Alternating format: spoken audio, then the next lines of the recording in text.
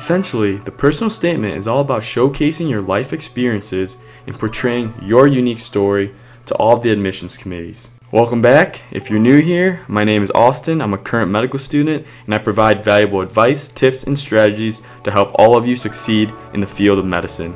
In today's video, I'm going to be talking about one of the most important pieces of the medical school application, and that is your personal statement for medical school. If you're still interested in learning more about MCAT strategies, I talked about that in my past series of videos and you can find that on my channel and I'll additionally link those up here. But the coming weeks we'll be talking about the medical school admissions process beginning today with one of the most important pieces and that is how to write an effective personal statement.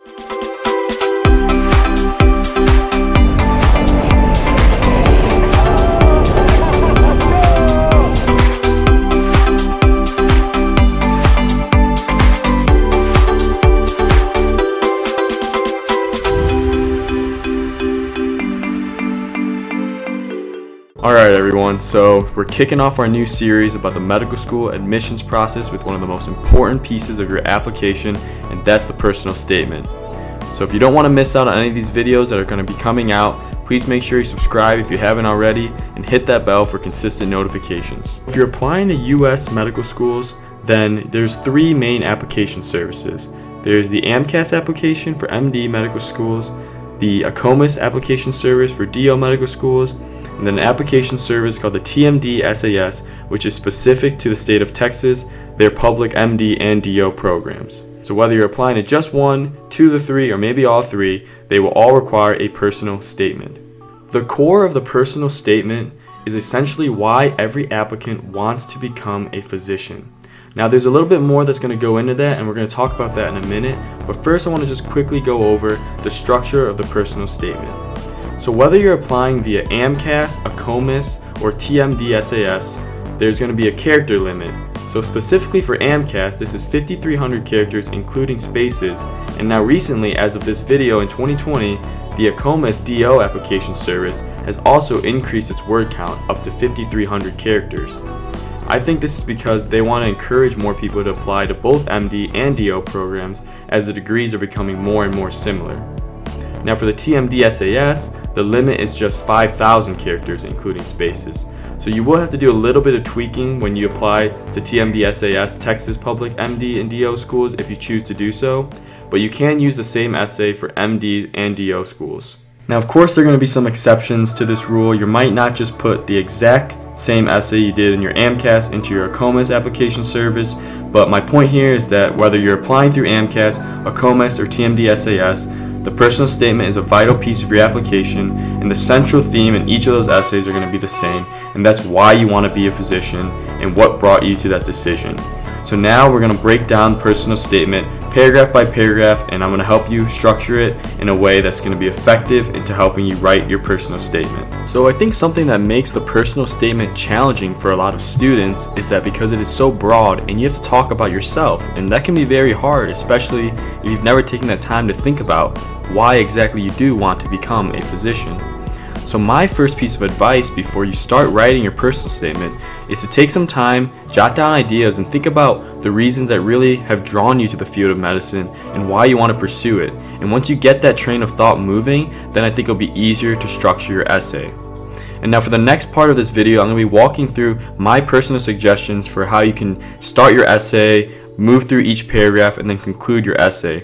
This is by no means saying that this is a 100% success formula or anything like that, but if you don't know where to start, I recommend this as a good starting point for you when you're writing your essays. And of course, at the end, I'll talk about how your first draft is going to look nothing like your final draft. And that's because we're going to go through an extensive revision process throughout your writing of your personal statement. So this is a great starting point, and we're going to start with the introduction next. So, of course, at this point, you've written many essays in your lifetime, so many people will know that you want to start with some sort of an attention getter.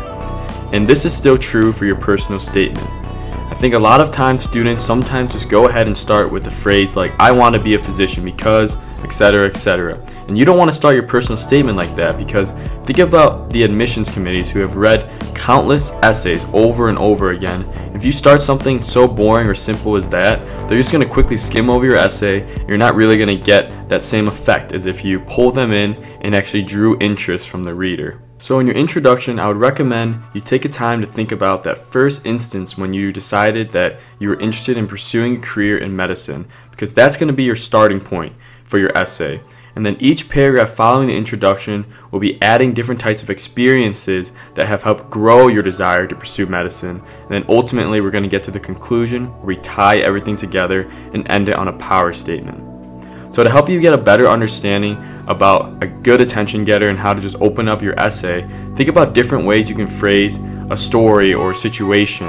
Um, for example, I'm not going to share my entire personal statement here on this video, but maybe in a future video I can cover more about my background, how I chose to enter the field of medicine. But my first desire or thought to pursue medicine actually came when my mom experienced a near-death experience in the hospital. And, you know, I'm not alone in that situation. You know, there are many people and many that are in the field of medicine are not even applying that have experienced a traumatic situation in the hospital. So that's not going to make me unique, but it's my perspective and the way I portray my experiences and how it impacted me that's going to make me a unique applicant. So I started my essay when I applied to medical school with the date that it happened, and I said I would never forget that day. So my first sentence I remember was on September 8th, 2007. This is a day that I will never forget. Now that's a sentence that when admissions committees read that, they're even going to be intrigued and interested into, okay, what happened on this day? What's going on? Let's read more. Let's find out more. Instead of me just saying, I want to become a physician because my mom experienced a near death experience and that impacted me to pursue medicine. Like, that's something that's just going to be read right over because they see this stuff all the time. So take a step back and think about it from a different perspective and try to portray your story in a way that's interesting but still tells your thoughts and your perspective. Now, following your introduction, you're going to be going into your first paragraph of your personal statement. And now this is an important time to recognize that while the idea of pursuing medicine had just begun in your introduction, now you're going to talk about the experiences and the growth that you had from that point on that brought you to the position that you are in today when you're applying to medical school. So using my example again about what I experienced as a child, I was only nine years old or so at the time, and I remember that that was when the idea of medicine started, but it was really through what I did in high school and my undergrad experiences in college that helped shape and mold me into the individual that I was when I applied into medical school and decided that this was the profession and career that I really wanted to be a part of. So, in the same way, when you're thinking about crafting your story in your personal statement, start with the starting point in the introduction and now move through each paragraph and talk about how your interest for medicine started to grow as you pursued different experiences, as you began shadowing in a hospital and you had different interactions with patients directly, or you had an aspiring physician that you really looked up to that you worked with and that was something that helped bring you to medicine. Whatever it might be for you, use those different experiences and tie and draw in different things that might be outside your application and really show your story. This is your opportunity to show how you're unique and the different things that you have done in your life will really make you a truly remarkable physician. So my number one piece of advice for when you're constructing your body paragraphs is to not just describe the experience, but let the readers into your mind. What I mean by this is to show them your unique thoughts and perspectives through each experience and activity and how you grew into the person that you are today because of these activities. So once you've arrived at the conclusion of your personal statement, this is arguably one of the most important paragraphs. It's going to be the last piece of your personal statement that the application reader looks at before they move on. And so you want to leave a lasting and strong impression on the application committee. So the goal of your conclusion should be to tie in all the experiences that you talked about in your body paragraphs and your introduction and put it all into a power statement. Tell the reader why you want to be a physician and also what you're going to do when you have that platform when you get there.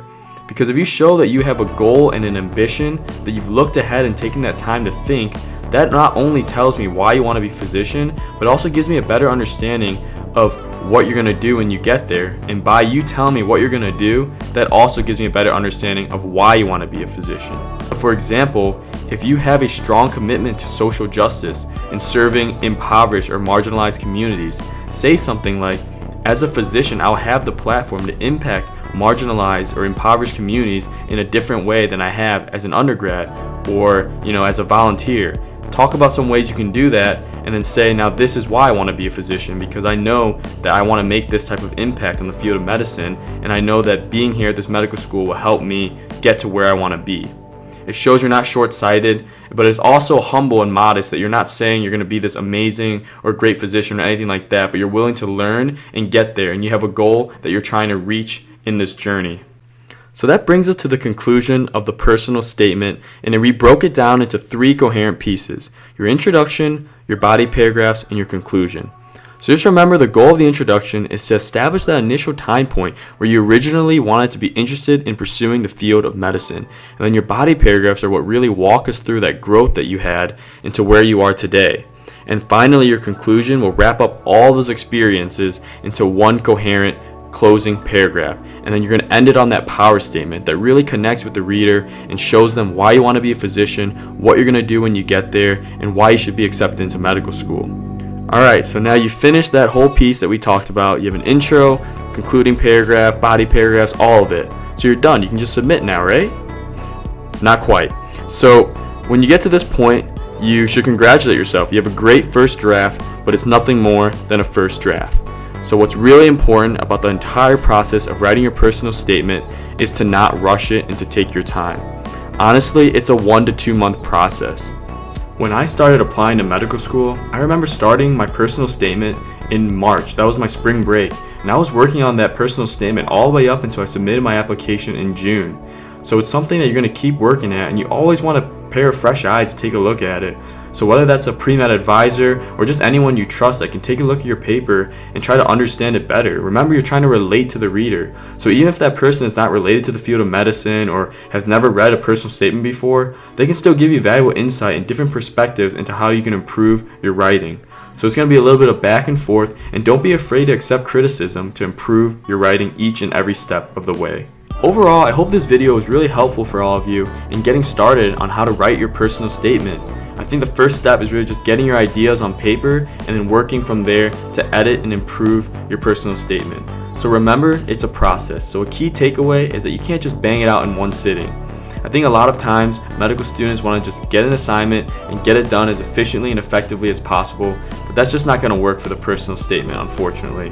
So remember, when it comes to medical school admissions, I think there's really three pillars and other advisors and faculty that I've worked with on admissions committees would agree that it's your MCAT and GPA, your personal statement, activities and experiences, and then your interview.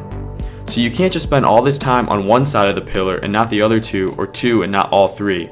So what I'm saying is a lot of students like to spend all their time on MCATs and GPAs because that's all they talk about and I think that's all there is to admissions. But remember, there's still the interview portion, this, the personal statement, with all your activities and your experiences as well. So what I'm saying with this is that if you spend three to four months working your MCAT, what's one to two months working on a personal statement and putting your best foot forward? So keep that in mind as you go on and begin writing your personal statement. And I wish all of you the best of luck in this process, and I'm here to help you if you need it.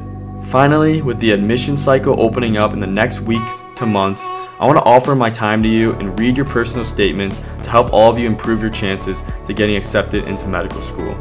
All I ask is that you subscribe to my channel right here and also join my Facebook group where you can message and chat with other pre-med students about anything related to the field of medicine. So if you show me that you subscribe to my channel, join my Facebook group, and invited three friends to join the group on Facebook, you can go ahead and message me on that group online and send me your personal statement, and I'll get that back to you as soon as I can. So this is going to be on a first come first serve basis, but my spring break is next week, and since my vacations got canceled, I'm hoping that I will have more time to help all of you out. So that's all there is for today.